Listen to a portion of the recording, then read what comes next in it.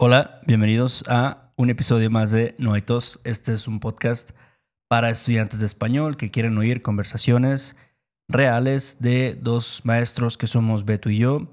Eh, además de las conversaciones que tenemos, ah, explicamos algunos temas de la gramática, como la semana pasada que hablamos de los comparativos, explicamos algunas expresiones que se usan en México y bueno, hablamos de otras cosas. Pero antes de empezar tenemos que agradecer a nuestros últimos mecenas. Ellos son Booty Blaster, Zach, Anthony Soltero, Blake, Campbell, Campbell, Britton, Kate Schumann, Carol C., Shanine Morse, Kira O'Kaira y Casey Brown y Dan Fong Dennis. Saludos. Dan Fong. Sí. Muchas gracias. Doble, ¿no? Dos por uno ahí. Y bueno, muchísimas gracias a toda la raza por allá. Y ya saben que lo apreciamos muchísimo. Y bueno, si tú que estás escuchando esto quieres ser parte de esta comunidad, puedes hacerlo en nuestra página noaitospodcast.com. Héctor, ya empezó la calorts otra vez. No puedo creer, cada año pasa lo mismo y todavía me agarra en curva. Yo creo que ya me voy a ir a Duluth, Minnesota, a vivir, porque ya está, ya no aguanto estos 28 grados, Héctor. Pero yo creo que en Duluth, Minnesota también hace calor en el verano. Pero, pero yo creo que ahorita no. Bueno, ahorita no. En marzo, o sea, no manches. Pero, ¿tú cómo andas por allá en la Santa María la, la ratera? Eh, todo chido, todo chido. ¿Todo chido? Sí. eh, ah, se me olvidó. Antes de continuar, tenemos que Ah. agradecer a unas personas que nos escribieron. Viresh, Viresh, no sé, desde la India. Erika y Patrick Crompton, que va a ser su cumpleaños el 20 de marzo. Sí. Y Ok. ellos, bueno, eh, sí, ellos nos escribieron por Instagram. Eh, la novia de Patrick nos escribió que es de México y dice, ah, es que él escucha el podcast y Órale. gracias a ustedes ha aprendido mucho español, entonces saludos a toda esa banda. Wow, pues va a salir un poquito antes de su cumpleaños, pero bueno, que la pases súper chido. Patricio, Sí. por allá. Y, este, este, ah, ¿qué te- más loco? te iba a decir que en Santa María de la Ratera Ajá. Eh, estaba viendo las noticias que hace como unas semanas hubo una protesta ahí, en esa, en esa área. en Santa María la ratera. Sí. ¿En serio? Sí, güey. ¿Qué dijeron ahora? Los chairos, Héctor. ¿Qué andan haciendo? Mira, es que no sé si tú sabes de los sonideros. ¿Sabes qué es un sonidero? Mm, suena como una, una fiesta, un reventón. Ajá, un sonidero es como una fiesta, sí, como lo mencionas, que organizan. Es básicamente un desmadre, un baile eh, público, ¿no? Callejero, ¿ok? Ok. Y he ahí la problemática del sonidero. Que, Ah. pues, no sé, yo la verdad no conozco bien Santa María de la Ribera, pero pues ya sabes que los vecinos, los vecinos se quejaron, que porque hacen mucho ruido.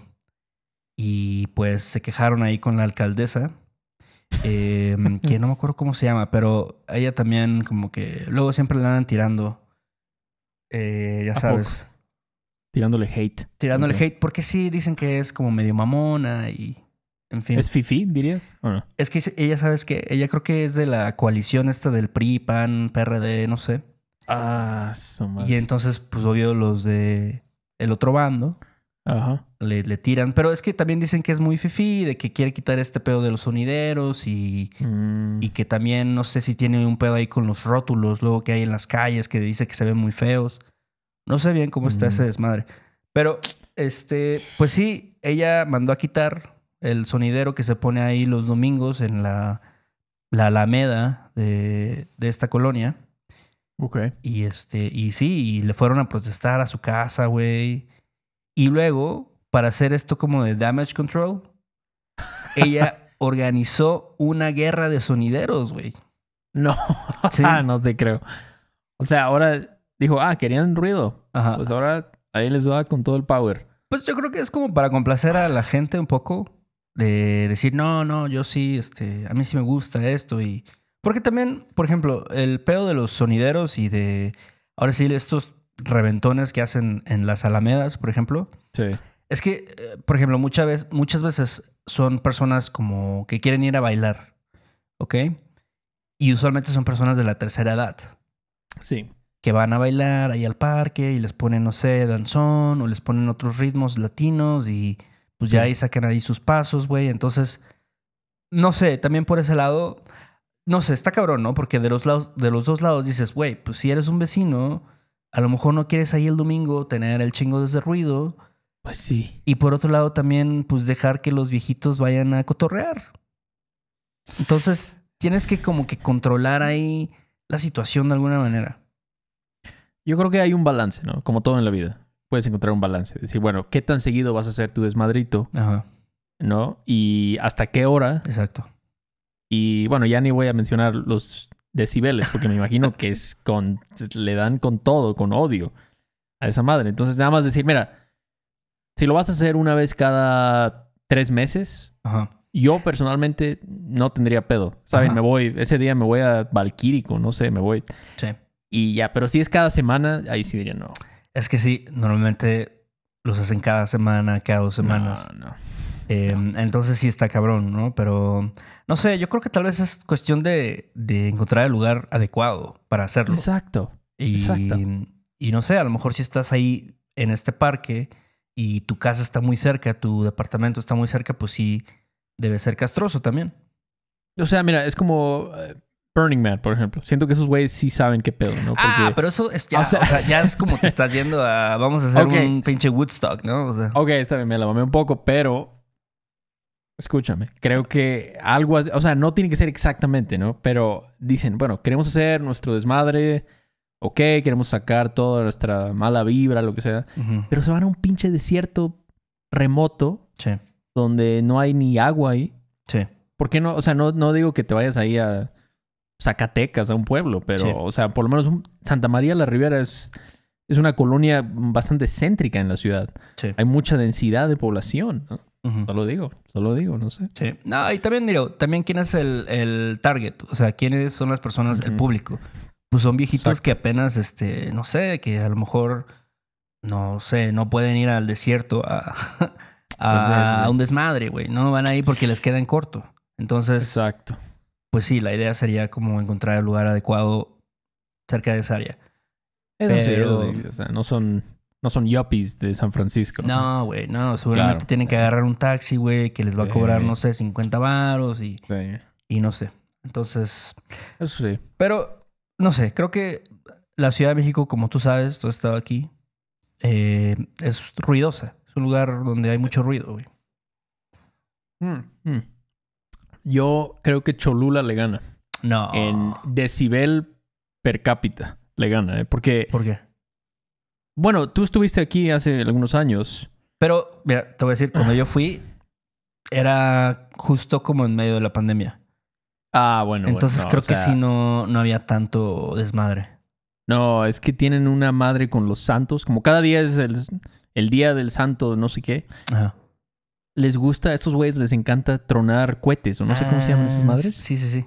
O sea, no es tanto de ruido de música, o es más como que estás, no sé, estás tomándote un café ahí en el Starbucks y de repente ves pa, pa, pa, y dices, ya, o sea, ya ¿Qué nos cargó la chingada, ¿no? Ya el cártel ya, ya vino por nosotros, ¿no? Sí, Pero sí. después ya ves a la gente, a los locales tranquilos, siguen en su pedo, Porque ya se acostumbraron. ya se acostumbraron. Pero los perros, todo el tiempo en Cholula ves perros saliendo volados así. Se van porque se espantan. Ah, qué mal pedo. Entonces, sí, no, eso sí no está tan chido de Oye, Cholula. Donde tú estás viviendo ahorita, sí se escuchan también los cohetes. Sí se escuchan, sí se llegan a escuchar. No tanto como si vives, no sé, como si vivieras a un lado de la iglesia o de la pirámide. Pero todavía no es para. Perdón, no es para gente que es muy sensible a eso. Por ejemplo, si tú tienes autismo Ah, claro. Severo, no te recomiendo que vivas en Cholula. La verdad, no. Yo creo, debes irte a vivir mejor a, a Kioto o algo. Y sabes, Si tienes eso. Cuando dijiste Cholula, yo lo que me imaginé que ibas a decir era como algo de los antros. Porque Cholula tiene como la fama de que hay muchos antros. O bares, o no sé. Bueno, sí, pero fíjate que están, la mayoría de los antros en Cholula están en- cerca de la, creo que es de la, la BUAP o la Ibero, no sé, una universidad. Y siempre que pasas por esa calle, pues hay un chingo de estudiantes, extranjeros, antros y todo, pero no, o sea, no hay casas por ahí, son casi puros negocios. Entonces no hay tanto problema, pero sí, a mí, a mí sí me molesta mucho, la verdad. El ruido sí es algo que, como que digo, ¿por qué tenemos que tener tanto ruido? No lo entiendo. Si quieres oír música, es como la gente que pone música en su carro a todo volumen. Sí. No entiendo la necesidad de hacerlo, Héctor. No lo entiendo. Oye, y en todos los años que, pues, no tienes tanto viviendo en Puebla, según yo. Bueno, en- dos, dos años. Ajá, en todo este tiempo, por ejemplo, no sé, ¿crees que sí es muy ruidoso estar en tu casa, por ejemplo, en tu departamento? Aquí no, porque yo intencionalmente me fui hasta casa de la tostada Ajá, a los suburbios, ¿no? Entonces yo vivo lejos de la ciudad. Sí. donde no hay, no pasa el de lavadoras, este, esas cosas, no pasa el panadero.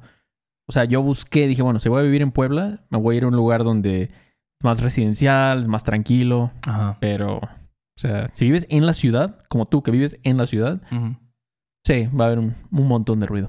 Puebla o Cholula. Y, por ejemplo, los vecinos, ¿crees que también hacen ruido? O sea, ahorita no, porque, pues igual, ¿no? Estás un poquito más Ajá. alejado, pero Sí. cuando vivías en un departamento, Ajá. En Puebla, dices. en Puebla o Cholula. Ah, sí, sí. Sí, más ruido, definitivamente. Sí, es que. Pues también es la ciudad, ¿no? La gente que vive en la ciudad, yo creo que es gente que típicamente le gusta más la convivencia. Por eso viven en la ciudad, porque no quieren estar alejados. El punto es que quiero estar cerca de la gente, donde está la gente. Y eso es lo que sí se me hace raro, porque si estás donde está toda la gente, pues la gente hace ruido, ¿no? Generalmente quieren tener sus reuniones, sus fiestas, Ajá. conciertos, todo. No lo entiendo, Héctor. Me imagino Entiendo. que también Jalapa es una ciudad ruidosa, o sea, siento que También, sí. teniendo así un chingo de gente pues que está involucrada en la música o las Sí. artes. Sí, sí, sí, sí. Seguro, Muchísimo. seguro también así has de oír así gente practicando vocalizaciones o no sé. Ah, güey. no, eso me pasó tantas veces. En la mañana a veces me levantaba temprano a las seis y había, escuchabas un trompetista practicando así las Ah, su- escalas. Ajá. Y decías, este vato, o sea, ya no puede dejar tantito su instrumento. Ajá. Es- O que lo haga a horas, a horas decentes. Esa- es lo único que yo digo. Si vas a hacer ruido, hazlo a horas decentes. Pero no sé, creo que en general México es un país ruidoso. Yo creo que la mayoría de la gente escuchando esto estaría de acuerdo con eso. Claro, güey. Eh, sí, aquí, sabes que no, yo no escucho, sí, de repente escucho a alguien que toca, no sé, que hay una banda, no sé, ahí ensayando, o un vato que toca la batería, ¿no? En su Sí. garage. Pero no escucho tantos músicos, pero sí los veo luego en los parques. O sea, sí, luego en el parque que está cerca de aquí de mi casa, siempre hay un güey, no sé, practicando la trompeta o no sé, el trombón, güey, o qué sé yo, güey. Este, y está chido, o sea, digo, en el parque, pues aquí en, estás, este, bueno, obviamente la gente que está alrededor a lo mejor no quiere escuchar, pero Pues sí. se me hace un poquito más como considerado, tal vez. Pues sí. Sí, sí, sí. En el parque, pues sí. De acuerdo. A ti no te molesta, por ejemplo, el ruido no te... Nunca, nunca, has- nunca te has quejado con un vecino. Así, vecino, por favor, bájale a tu música. No, güey. Me, me está molestando. No, yo creo que, o sea, porque es raro que mis vecinos hagan mucho ruido. O sea, Mm. de repente sí ponen música, pero yo creo que así, yo he sido el de los que más ha hecho ruido. Y no de los que más, pero así como que luego de que he tenido fiestas con mis amigos y de que se quedan hasta las 9 de la mañana, ¿sabes? Y, y, y la música está prendida y así, güey. Yo digo, ah, su verga. O sea, me siento poco Culpable. culpable, ¿no? Pero, Ujú. pero nadie nunca se ha quejado ni nada. O sea, afortunadamente. Qué bueno. Este, sí, no ha habido tantos pedos. Pero, pero sí, y es que también tiene que ver, yo creo, que son departamentos más o menos pequeños, ¿sabes? De Mm. dos habitaciones, este, no sé. No es como un apartamento donde viven cinco o seis personas, ¿no? que Mm, también hay de esos en la Ciudad de México. Sí. Y ese es un lugar donde está así puesto para que armes un reventón, güey, y invites Sí. así a 40 personas si quieres. Y entonces ya, ya es otro pedo, güey. No, sí llegué a tener de esos en Jalapa. Ajá. Porque tenía un roomie que era súper sociable. Así, todo el tiempo estaba como, ah, este, ya viene la. ¿Cómo le llaman? La. Limpia de. No, ¿cómo cuando se gradúa, los de arquitectura se gradúan? ¿Cómo? Hay, una- Ah, hay un es nombre una- para eso. Sí, no sé, no me acuerdo cómo se llamaba, güey, pero sí sé de lo que hablas. Esa madre. Ajá. La quema, creo que le llaman. ¿no? No sé. La quema de arquitectura o no sé qué. Y a ver, ¿qué hacemos? Hay que comprar este pozole y aguas locas y no sé qué. Y Ajá. de repente Caña había y... caña. Sí, sí, Ah. sí. Me acuerdo una vez que había, como dices tú, ¿no? Como 35 personas en la casa con música. Este, un pinche amplificador crate viejo era nuestro sistema de audio. No, te- no teníamos nada mejor. Ajá. Y había así un... De repente entro al baño y estaba roto el lavamanos, se había caído al piso. y, y en la mañana... clásico, clásico. De El lava- clásico. lavamanos roto, sí. Exactamente. Y la, la mañana después, el piso ya era como azulejo blanco, Ujú. pero ya tenía tanto, o sea, de tanto que se fumó ahí Ujú. de cigarrillo, con la mezcla de caguama tirada, Sí. y ese olorcito y todo pegajoso. ¿sí? Ya fue cuando dije, tengo que hacer cambios en mi vida. Ya, esto ya no puede. O sea, esto, esto ya no puede seguir. Esto ya es demasiado. Y, ah, y sí hicimos un chingo de ruido esa vez. Oye, Sí, el ruido está fuerte, Héctor. y tú, mira, te voy a decir, a ver, los que yo considero que son los ruidos más como Dale. emblemáticos de, Dale. de la Ciudad de México y de México en general, ¿no? El fierro viejo, güey. Ah, sí. Sí, En, sí. en Puebla, bueno, tú también pasa el de fierro viejo, ¿o no? Sí pasa, pero muy lejos. O sea, Mm. se escucha muy a lo lejos. Sí. Muy a lo lejos. Pero sí lo escucho a veces. Este, ¿la basura hace ruido la basura? La basura no hace ruido, Mm. afortunadamente. Es que aquí Sí. sí. llegan con una campana, güey, así, tan, tan, tan, tan, para que la, la banda Eh. saque su basura. Como un cencerro, ¿no? Ándale. No, O sea, bueno, sí. no sé si es una campana o un cencerro, no sé qué sea, güey. Ah, Este. y la tocan así, taca, taca, taca, taca, taca, Ajá. y ya luego dice... Sí. Eso es clásico. ¿Qué otro? Este, ¿qué más, güey? Pues, no sé, el. ¿Tú conoces. sa- ¿Sabes quiénes son los organilleros? Ese es el, el instrumento musical más fácil de tocar en la historia sí. de la música. Yo no sé cómo funciona esa madre, ¿no? O sea, es como, pues, hay alguien que, que ya mete las melodías, ¿no? Y nada más estás girándolo. Exacto. Nada más lo giras y suena una melodía. Y entiendo todo lo del folclore y eso, pero esto realmente ¿No? y el organillero. O sea, no sé si haya organilleros escuchándonos ahora, pero no sé si tengo mucho respeto Ajá. por esta profesión. Pues es, es que es algo como que es bien old school, ¿no? O sea, como que Sí. yo no sé desde cuándo existen organilleros, pero sí es como de esas, eh, esos trabajos que han existido por muchísimos años. Y entonces sí, Sí. dices, o sea, como, ¿cuál es el punto, no? De tener un organillero. Sí, Y sí, de que sí, se visten, tienen un uniforme y todo el pedo. sí, sí. Este, o sea, por ejemplo, yo pienso así como los, los que te bolean los zapatos. Sí. Dices, ah, seguramente esta madre ha existido por muchísimos años, todavía existe. En la esquina de mi casa siempre se pone uno. Eh, pero pues sí tiene un propósito. Exacto. O sea, sí, es muy útil que te, lo, te boleen los zapatos. Exactamente. Y no hace ruido. Pero el organillero sí. es muy diferente, por ejemplo, a los de la marimba, güey. Ah, bueno, sí. Esos güeyes tocan chido. El único problema para mí es que yo, no sé, tal vez porque estoy en el espectro un poquito, pero a mí me acuerdo cuando íbamos a Mandinga Ajá, y había un güey tocando, o sea, no, que un güey, como cinco güeyes tocando la marimba. ajá. Y yo tenía que estar gritando en el restaurante como, hey, pásame las, las saladitas, Ah. por favor. Sí. Decía, o sea, estoy comiendo aquí, por favor. O sea, todo en su lugar, ¿no? Ese también es el pedo de luego, o sea, aquí sí hay muchos restaurantes que tienen terrazas o mesas afuera, güey, en la calle, y llegan cabrones, güey. O sea, casi, ahí creo que casi no llegan los de la marimba, pero sí llegan, güey, dos, este, un dueto, güey, que tocan canciones así de reiki, de, Sí. tú sabes, güey. Eh, o un grupo musical, ¿no? Un trío, güey. Y llegan, o otro cabrón que quiere hacer karaoke, no sé, güey. Y entonces sí es molesto, ¿no? Estar como Sí. no poder comunicarte. Pero la marimba usualmente es como en Veracruz y aquí en Ciudad de México también, a veces, este, o sea, la, la llevan cargando y tocan Sí. así afuera de los edificios, güey, ¿no? Entonces ahí, Sí. pues, a mí- yo disfruto el sonido de la marimba mucho. A mí también me encanta la marimba. Yo estudié marimba por ocho años de mi vida. A mí no me van a decir que yo desprecio a la marimba, pero todo en su lugar. Yo soy una persona que dice, cuando quiero escuchar, quiero escuchar con atención y apreciar el arte, ¿no? No lo quieres escuchar afuera así, bueno, No. mientras estás en tu casa. no, no, no, este, gracias. no. Haciéndote un jugo verde o algo así. Exacto. Ahí quiero escuchar Freakonomics o algo en, Ujú. mi- en mis AirPods. No quiero escuchar un güey tocando la marimba. Es como, no puedo hacer ni algo, no puedo hacer una cosa ni la otra.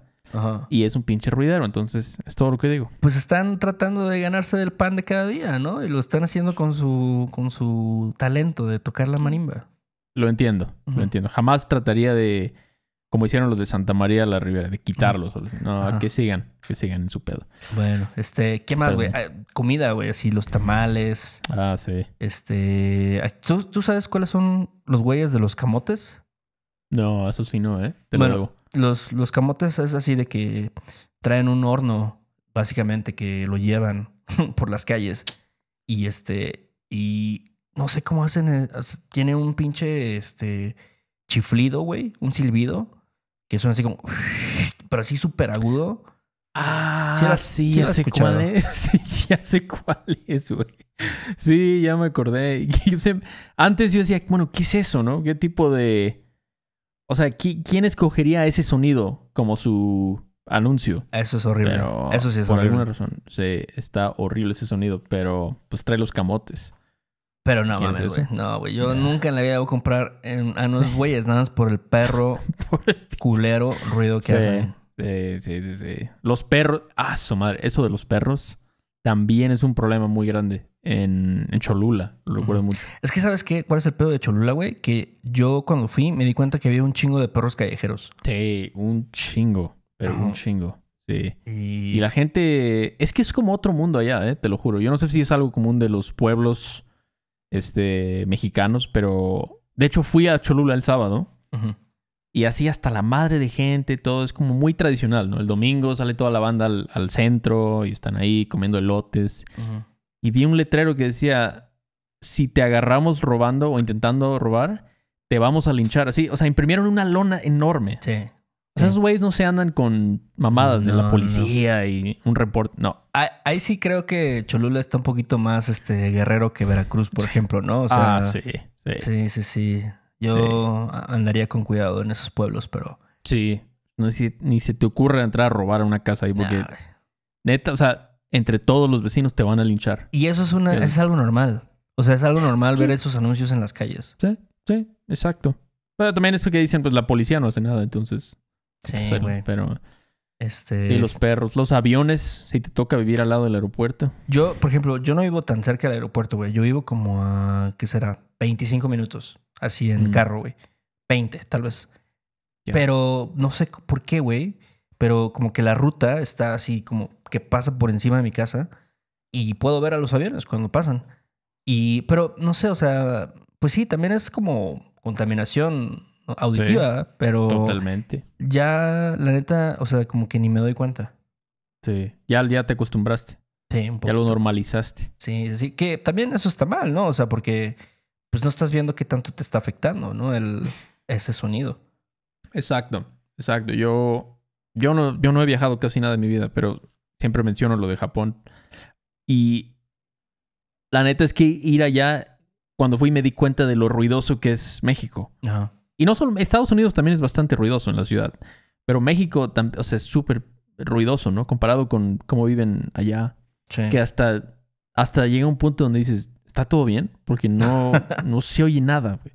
Entonces, güey, ¿qué pedo, no? ¿Qué Y- está pasando? Y justo estaba pensando en Japón porque yo digo, pues seguramente también en ciudades grandes, no sé, en Tokio, Sí. hay una densidad de población bastante, pues no a lo mejor como Ciudad de México, pero pues vaya, tampoco es así de que la gente vive muy separada. No, no. Pero sí debe ser muy, mucho la diferencia en, en el ruido. Sí, sí. Y es que yo creo que como debe ser, entre más densidad haya, más consciente o más respetuoso debe ser Del ruido que estás haciendo, porque pues, imagínate si no, se hace un caos. Sí. Pinche caos. Pero aquí yo creo que también es como un pedo de que ya la gente está tan acostumbrada al ruido que, que prefiere hacer su propio ruido, ¿no? O sea, si ya sabes sí. que hay un chingo de ruido por el tráfico, pues para, para ahora sí ocultar eso, en Sí. el taller mecánico van a poner así banda a todo volumen, ¿no? O sea, Sí. igual y no a todo volumen, pero lo suficiente para que si tú vas pasando por ahí, vas a escuchar, ¿no?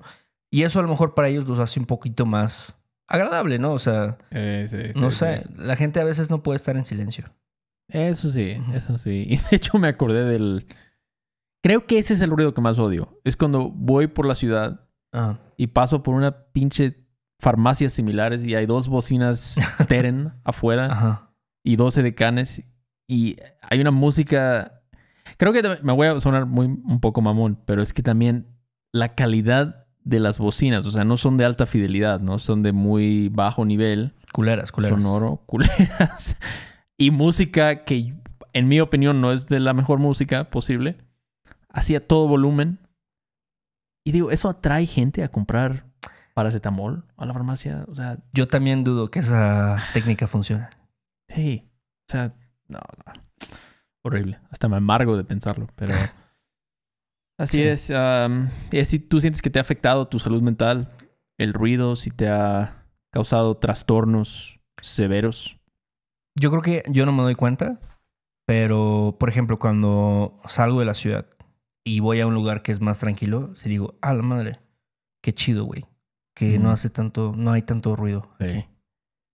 Ok, cuando te vas a Valle de Bravo o algo. No, no, pero Eh. incluso Veracruz, o sea, Veracruz sí tiene cierta tranquilidad en algunas áreas, Sí. ¿no? A lo mejor no si estás en el centro o, no sé, en Martí o qué sé yo. Sí. Pero hay lugares que sí son muy tranquilos y lugares así como costeros, ¿no? Como justo eh, Puerto Escondido, es muy tranquilo también. Sí, Um, sí, ese tipo de lugares.